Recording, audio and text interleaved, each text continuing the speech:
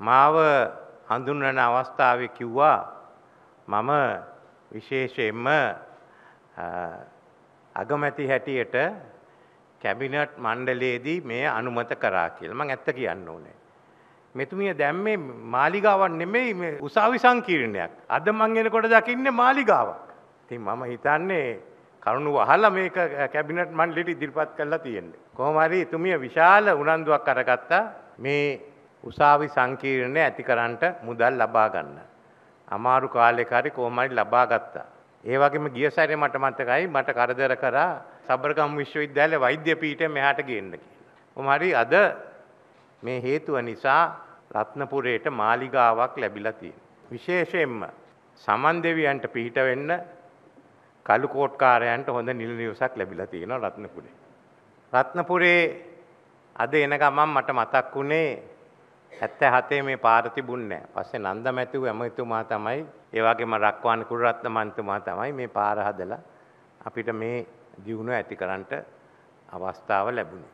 අද විශේෂයෙන්ම මේ ගොඩනැගිල්ල දිහා බැලුවාම මට එකක් කියන්න පුළුවන් නීතියේ ආධිපත්‍යය සරිලන විදිහට ගොඩනැගිල්ලක් මෙතන තියෙන්නේ. අපේ අධිකරණ ඇමතුමා සඳහන් කරපු හැටියට අපි නීතිය ආධිපත්‍යය තහවුරු කරන්නට තියෙනවා. මේ රටේ ව්‍යවස්ථාවේ ජනතා පරමාධිපත්‍යයයි නීතියේ ආධිපත්‍යයයි අත්වැල් බැඳගෙන එකට යන්නේ. එයින් පිට යන්න බෑ. එහෙනම් ඒවා ක්‍රියාත්මක කරද්දී ඒකට අදාළ සහයෝගය දෙන්න තිබෙනවා. ප්‍රජාතන්ත්‍රවාදී ක්‍රමයක්. අපේ අග්‍රවිංශකරුතුමා කිව්ව හැටියට අපිට අවුරුදු 200කට වඩා පැරණි අධිකරණ ක්‍රමයක් තියෙන්නේ. ඒ බ්‍රිතාන්‍යයේ මං හිතන්නේ අපි ගියොත් ඕලන්ද කාලෙට ඒකෙත් තිබුණා ඒ වගේම පැරණි ක්‍රමවේදයක්.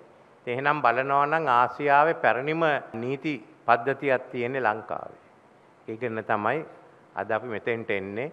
ඒ නීති පද්ධතියත් ඒ වගේම ඒකේ ක්‍රියා කරන සියලු දෙනාම යුතුයකමක් තියෙනවා මේ වැඩ කටයුත්ත ආරක්ෂා කරන්න. මේ අවස්ථාවේදී විශේෂයෙන්ම මේ ගොඩනැගිල්ල නිසා මේ ඉන්න සියලු දෙනාට විශාල පහසුකමක් ලැබෙනවා. එක ස්ථානයේ උසාවි සියල්ලම තියෙනවා. ඒ වගේම අනික් පහසුකම් ලැබෙනවා. මේ එක්කම අපිට තව කාරණයක් තියෙනවා. අපේ අධිකරණ ඇමතුමත් ඒ වගේම අග්‍රවිංශකාරතුමත් සඳහන් කරපු එක අපේ අද තියෙන නීතියේ ප්‍රමාදය. ඒක විශාල ප්‍රශ්නයක්. අපි ඒක විසඳන්න ඕන. රටක් ක්‍රියාත්මක වෙනවා නම් අපි එහෙනම් නීතියේ ප්‍රමාදයක් තියෙන්න බෑ. ඒ සාමාන්‍ය ජනතාවට විතරක් නෙමෙයි විශේෂයෙන්ම අපිට එන ආයෝජකයන්ට අහන ප්‍රශ්නය.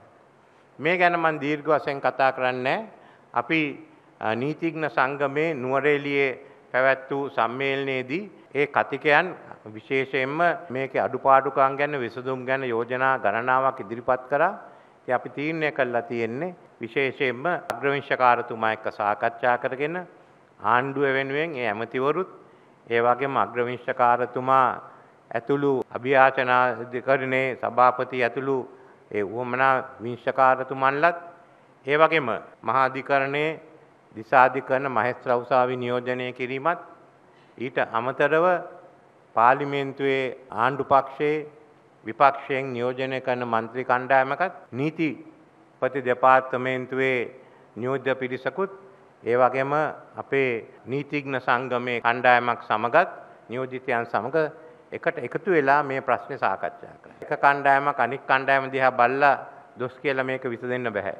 මේක කාලෙක ඉඳන් ආව එකක්. අනික එක තියෙනවා ඒක පාර්ලිමේන්තුවෙන් කරන්න මම හිතන්නේ ඇමතුමා බාර අරගෙන තියෙනවා අපේ නීති ප්‍රතිසංස්කරණය කරන සමහර නීති මම හිතන්නේ උසාවිය වාගේම ශ්‍රේෂ්ඨාධිකරණය වාගේම පරණයි මම හිතන්නේ මට කිව්වේ මේ පොලිස් ආඥා පනත දැන් අවුරුදු 175ක් ඇති කිසිම වෙනසක් වෙලා නැහැ තාම තියෙනවා Tamanට පුළුවන් ඕනනම් විශේෂයෙන්ම තමන්ගේ මුදලින් වත්තක් ආරම්භ කරන්න පොලිස් කඳවුරක් දාන්න. අපි ගෙවලා ඒක කරගන්න පුළුවන්. අන්න එහෙමයි ඒ කාලේ තුනේ. කොහොමත් මේ වැඩ කටයුතු ගැන අපේ විශේෂයෙන්ම අධිකරණ ඇමතුමා විශාල උනන්දුවක් අරගෙන දැන් ඉස්සර නීතියක් එන්නේ මාස 6කට සැරයක් දැන් නිකන් අර කර්මාන්ත ශාලාවක් වගේ හැමදාම නීති පිට වෙනවා. මම හිතන්නේ මේ අවුරුද්ද අවසාන වගේ වෙනකොට පාර්ලිමේන්තුවට දෙන අවුරුද්දෙත් සති දෙකක් නෙමෙයි සති තුනක්වත් රැස් වෙන්න වෙයි එන්න තියෙන නීති සම්මත කරන්න. එක ප්‍රශ්නයක් තියෙන්නේ ශ්‍රේෂ්ඨාධිකරණත් පිළිහිද කියලා මේ නීති ගැටුම්පත් එක්ක වෙන එකක් නැතුව. ඉතින් මේ අපි සාකච්ඡා කරලා බලන්න.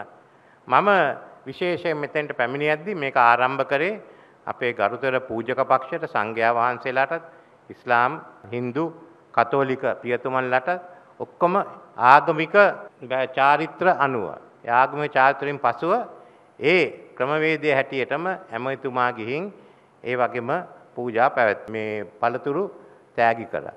ඉතින් විශේෂයෙන්ම මේ දාන කටයුත්තත් ආගමික කටයුත්තත් වෙන්නේ අපේ රටේ ආගම පිළිබඳ තියෙන ලැබියාව පමණක් නෙමෙයි අපේ ව්‍යවස්ථාවෙන් ආගම් භක්තිය ආරක්ෂා කරන නිසා මූලික අයිතිවාසිකමක් හැටියට. asianmirror.lk